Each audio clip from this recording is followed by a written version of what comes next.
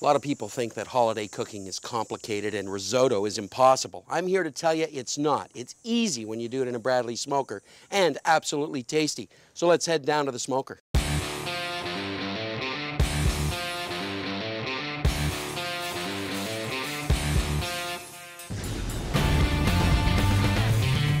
Risotto. And yes, I did say risotto out of a smoker you can do it. It's really, really simple. So the first thing is I take some fresh rosemary, just a little bit. You don't need a lot. Rosemary is quite powerful. So we just take a little bit of rosemary, just tear it up on your fingers, and then you pour it onto a smoker rack.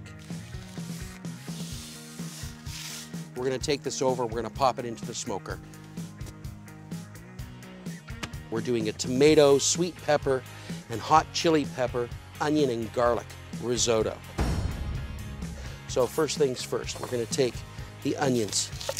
And you don't even need to peel them. You just wanna cut them into little wedges like that. You're gonna line them up on your smoker rack. You take your garlic. You've got lots of cloves of garlic. Next, sweet red shepherd peppers. Hot peppers, they can go along this side, just like that. Stack them up. And then tomatoes. I like to cut them into wedges. Then you take a little bit of salt. Nice. And then down here on your onions. Get under in between on those ones, unbelievable. Now, Let's head into the smoker. Slide them in on the bottom. Now, temperature, I'm just gonna crank it up to medium high a little bit. We got enough bisquettes. And when, you when the, the rice is smoking, just so you can see in here, look at that rice there, look there. And all you're gonna do is take your fingers as it smokes and sort of move it about so that you get a nice even layer on the rice all the way around. And then we close our door.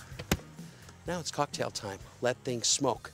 And when that all gets nice and smoky and done, we're gonna make our risotto. All right, our arborio rice, the garlic, look at in here. Look at that. The garlic, it's nice and, and soft. Our sweet peppers, smoke roasted. And right in here, we've got some of our hot chilies. So this is all ready to come out. After your arborio rice is smoked, what you want to do is you want to cool it and then put it into a jar. This is just like a mason jar. Seal it tight, put it in the cupboard, and it's going to intensify, but at least 24 hours before you go and use it. And then when you open it up, oh, that sweet, smoky goodness, your rice is ready to make risotto. So we peeled all our peppers. We started to chop them up. These are the hot peppers. You want to make them a little bit smaller than the sweet shepherd's peppers that were smoke roasted. We're just coarsely chopping them. what's great is you can smoke this days ahead. You don't have to smoke it and rush around. You can smoke it, smoke your rice, get that stuff all ready, and then you make risotto. We're all set to rumble. We're gonna take a little bit of olive oil, that olive oil moving all around this pan. One part rice, four parts liquid. And so this is our smoked arborio rice. Take a sniff. Smell that. It smells good. Put it in. You don't have to toast it a lot because it's already got a bit of color on it from the smoke, but just a little. We're gonna add in our smoked garlic. We've added the garlic. We're gonna add a little bit of wine. Oh yeah. Let that sizzle up. Give it a little stir. Now we're gonna add a little bit of chicken stock. And you're gonna add it a little bit at a time. And in this pan, we're gonna have to turn things down now so that we don't evaporate all of that. And you wanna constantly stir it. There you go, constantly stir. We're just gonna add a little bit more. Some chicken stock there. The more you stir, the more starch you get out of it, but you can extract too much starch and then you have a risotto that's kind of lumpy and clumpy, and you don't want that. You want it to be smooth. It's all about patience when it comes to risotto. It's just like smoking. Only your arm gets tired because you got to stir. Now we're going to take all of this goodness. Look, we're just going to dump that just like that in. Now, just stir it in. Oh, it's going to be spicy, tomatoey, smoky. And then white wine, just a touch. Pinch of salt and pepper, like that. This is my secret. This is mascarpone cheese.